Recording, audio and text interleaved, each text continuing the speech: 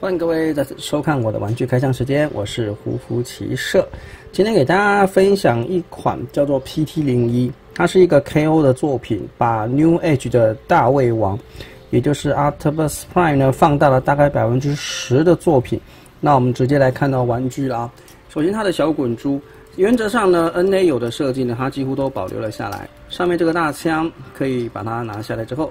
翻转到这边就是一个警示灯，这是它单独的展示。那你也可以把它转到这个方向啊，露出一个凸，就可以来搭载我们的货柜。而我们的货柜呢，跟 OP 的本体的结合的话呢，它中间的话呢是有个卡扣的，呃，扣起来之后的话是可以把它腾空拿起来啊，就是像这个样子。这里是可以另外打开的。那我们来看一下货柜啊，货柜跟小滚珠这样一来啊，放上去推车没有任何的问题。那货柜的后方一样是可以打开。打开之后的话，里面有块板子，从这个地方可以翻出来。如果说里头不好抠的话，我们就直接把它给打开，然后就可以了。这个呢，如果你要把它放成一个平放的话呢，是转成这样子。然后呢，这一块部件还可以单独的再把它给翻出来，到这边啊，就可以单独的让它立在地面上。那这个板子的话呢，如果你在啊翻起来，它也可以把这个空洞给填补，里头的全部都是银漆。当然，我们这个也是可以做站立的一个演示了啊。那么呢，在平躺的情况下呢，是做一个呃急救用的一个载台吧。上方有一个维修的这个道具，那上面的关节都还是保留在的。这个透明部件的话呢，也是挺漂亮啊，好像一个张开的一个嘴巴一样。然后我们这个维修台呢，它本身是可以拔下来的，它下方组合的卡扣可以将它松开。松开之后的话呢，我们把这一个货柜的部分呢，它的底盘。这个地方它其实也是可以拿下来的，而且它里头内藏乾坤，我们可以把它的替换手啊、能量符啊这些没用到的东西呢，全部放到内部去啊。然后呢，这个对应边的一个组合的位点，可以把它给扣上去，凸跟凹啊，应该看上去是一目了然的，把它给扣上去。那这个的话呢，原本在车子车子的一个后方的这一个防撞杆，这个时候变成它前方的防撞杆了啊，那就就形成了一个一个也算是一个小型的移动车辆。这个设计的话呢，是原本 New Age 的设计里头就已经拥有了。单看这个 OP 的卡车头啊，原本的设计呢，后方这一段都比较长一点，还有脚丫子呢露在后面啊，这个都是没有再做另外多余的改善啊。当然，他们也不可能做这个改善的。而这个车门的部分呢，一样是可以做一个打开。那切一个角度的话呢，就有一个开门的感觉。那么以这个车型来说的话呢，下方的这个 bumper 的话呢，占的面积比较大，这是比较为人所诟病的。后方的烟囱啊、油油箱这些涂装的话呢，基本上呢啊都没有做一个省略。轮胎的滚动性的话呢，啊也算得上是相当的可以了啊。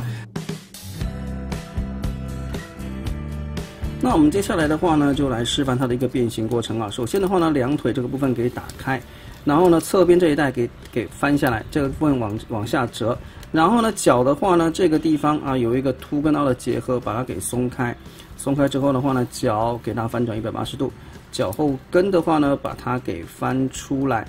再来的话呢，把这边翻出来之后呢，做一个这样子一百八十度的一个反转。然后呢，这里有一块部件啊，这个原本的这个环形这个部件要把它给塞到内部来。那么呢，这个时候呢，再对角这个以下这里这个油桶翻上去之后，这一块部件就可以旋转。翻转到这个角度之后，再来整个大腿给翻转。那翻到这边的话，应该也看得出来了啊，这个就是它腿的一个正面了啊。那这里的话呢，有一个凸跟凹的一个结合，在这个地方把它给扣进去。然后脚的话呢，这一片稍微翻出来一点点，卡进来。卡进来之后的话呢，这里就有一个凸跟凹的结合。那么这一侧的腿呢，啊，就算变形完成了。另外一侧的变形也是一样的啊，这里整个给打开，都是一个大回旋了啊，大回旋，脚后跟也把它给打开，然后呢，这片部件翻起来之后，整个脚先翻也可以，再来把这个油桶给解锁之后呢，下半部这里才能够做一个旋转，那旋转到这边之后呢，我们是要把这一些啊，这个最多重关节的这个地方，就是它的一个这一带正面。那这个油桶给收进来之后，它内部有一个凸跟凹的结合，在这边，我们把它给扣上去啊，扣上去。这个部分的话呢，做一个一百八十度的一个回旋下来。好，我们这里这一片部件记得把它给扣进去。然后呢，最重要的啊，就是把这一块啊，这个这个洞啊，跟这个凸做一个结合，扣上去。两条腿的话呢，啊，就完成了它的变形了。那接着完成它的车头，也就是它的上半身哦，这个地方把它给搓开，然后呢，整个部件的话呢，这里可以拉开来一点点。那我们从这个地方把它给捏下去哦，破坏掉这个结构。再来的话呢，由这把这个车门给打开，手臂的话呢就可以翻折出来了。另外一侧呢也是一样的，先开车门，然后呢再把这个部件手臂给从里头给拉出来。拿出来之后的话呢，我们接下来做这个。呃，车门啊，车窗给收起来，然后呢，给推到前方去。这里也是一样的，车窗按下去，推到这里。再来的话，我们先把这个胳膊的话呢，给往前面转过来，到这边。那我建议的话呢，首先摆这里了啊，由由这个方向转才可以啊，你转另外一个方向转不过去。先摆到这里。再来的话呢，我们把这个由这个地方啊，先折一下，把这个车门呢给转到这个地方去啊，这里。